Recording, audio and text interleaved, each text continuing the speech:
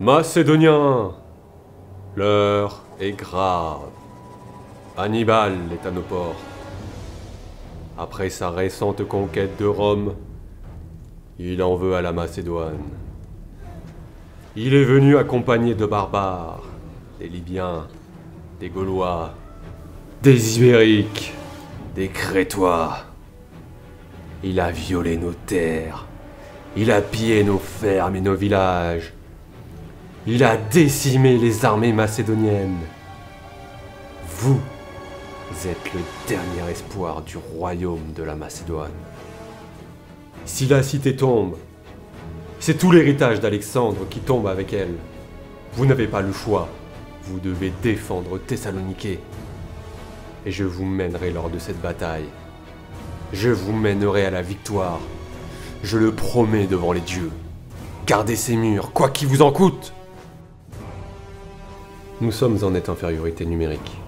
Hannibal le sait et décide de regrouper toutes ses troupes au même endroit. S'il parvient à franchir les murs, il pourra s'avancer facilement et contourner toutes nos unités en ville. De notre côté, nous avons principalement de la ligne de front. Nous avons des piquiers, des lanciers, quelques archers et un peu de cavalerie. Hannibal, lui, a beaucoup d'artillerie et nombre d'unités d'assaut. Il a principalement ces unités redoutables que sont le bataillon sacré. Ce sont des troupes fortement entraînées, capables de tuer au corps à corps nombre de nos meilleurs soldats. Notre condition de victoire, tenir les murs, et surtout empêcher un assaut total. Pour ce faire, nous devons contrôler la ligne de front, et donc la ligne d'assaut. J'ai mis en place une tactique spéciale. Ma cavalerie contournera le front, et fera pression sur les unités en arrière, empêchant l'ennemi de lancer une charge générale sans risquer de perdre de nombreuses troupes. Je déploie mes archers sur les murs, et mes piquiers en bas de ces derniers. Nous devons ralentir l'entrée en ville des troupes ennemies. En arrière, les porteurs de boucliers. Ce sont un peu des hoplites améliorés, voyez. Ils serviront de renfort le cas échéant. Puis pour finir, ma cavalerie à l'ouest, prêt à sortir. La bataille commence.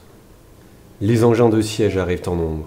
Cependant, ils bloquent les tirs de leur propre artillerie. C'est très mal pensé de la part des Carthaginois.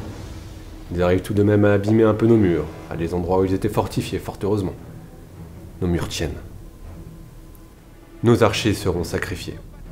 Ils doivent lancer le plus de projectiles possible avant l'arrivée sur les murs des ennemis. Ils savent leur sacrifice nécessaire et l'acceptent. Si survivants il y a, je les recouvrirai dehors pour cet acte, je le jure. En quelques minutes à peine, l'ennemi a pris place sur nos murs, mais ne descend pas encore. Ma cavalerie arrive à l'ouest et se fait voir. Elle ne peut pas lancer l'assaut car forte infériorité numérique, mais elle se fait voir volontairement. Ce qui, comme prévu, empêche un assaut total et heureusement, car nos portes se font très rapidement détruire par leurs béliers. La première vague ennemie est jugulée. Hannibal le sait, il peut encore faire marche arrière sans grosse perte. Mais il perdrait toute renommée. Pendant ce moment d'hésitation, j'ordonne aux porteurs de boucliers de décimer les ennemis sur les murs et devant nos murs. Voyant cela, Hannibal n'a d'autre choix que de lancer toute son armée à l'assaut. Mais c'est trop tard. Les porteurs de boucliers profitent même du feu sur l'un des engins ennemis de siège pour éblouir l'ennemi avec leur reflet. Ah, ah, j'adore ce genre de stratégie. Hannibal arrive, et deux de nos unités de porteurs de boucliers sont prises au piège. Nous les vengerons. Que la cavalerie charge les arrières. Ils sont désordonnés. Ils s'engouffrent au niveau des portes et là, les éléphants ne sont pas assez efficaces, car ils ne peuvent pas courir sans écraser leurs propres alliés. Ils fuient les uns après les autres. Nous étions un contre deux, sous-équipés, mais nous avons remporté cette grande victoire et tué Hannibal.